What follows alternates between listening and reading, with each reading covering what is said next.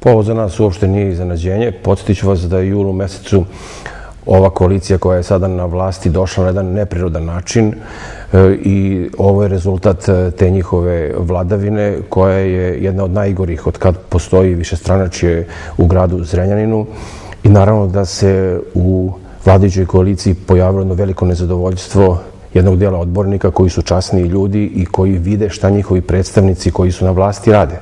Evo, podsjetit ću vas, imamo gradonačelnika koji je odavno u sukobu interesa, sedi u dve fotelje, opominjan je od Agencije za sprečavanje sukoba interesa, međutim, on neće da se reši fotelje u Novom Sadu, nego želi da sedi i u Zrenjaninu i u Novom Sadu. I sigurno je da takvi primjeri dovode do jednog bunta i revolta, odbornika koji rezultiraju evo upravo o ome što se desilo danas, prelaskom jednog od odbornika u redove Ligi socijaldemokrata Vojvodine i siguran sam da će toga biti i u perspektivi.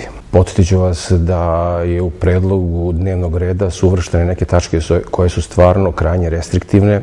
Oni žele da promene poslovnik u radu Skupštine, gde faktički zabranjuju govor poslanika. Svedeni su naše diskusije po sadašnjem poslovniku su krajnje korektne i mi imamo prostora da iznesemo na samoj skupštini ono što imamo kao opozicioni poslanici, ali i pozicioni. Sada ovim poslovnikom oni pokušavaju da nam zabrane da govorimo.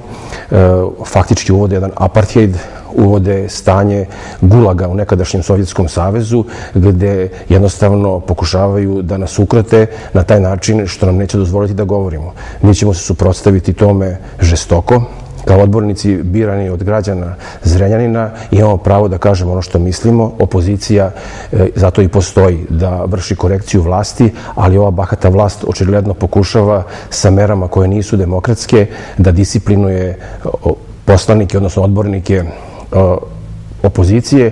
Naravno da im mi to nećemo dozvoliti. Mi imamo u sadašnjoj koaliciji koja je na vlasti nekoliko stranaka, četiri ili pet, koje nikada nisu samostalno izišle na izbore. E, u zbiru nemaju više od 3 do 4 procenta uporišta u biračima grada Zrenjanina, a oni sada vode grad u cenama.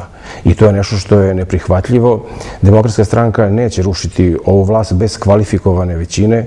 Ja mogu da kažem kada budemo imali 40 ili više odbornika, tada ćemo srušiti ovu vlast i vojiti ovaj grad e, putem kojim oni treba da ide.